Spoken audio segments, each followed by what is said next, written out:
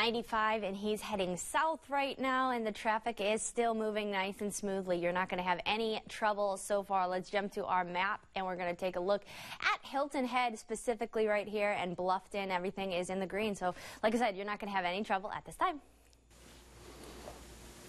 We'll still head in the next hour.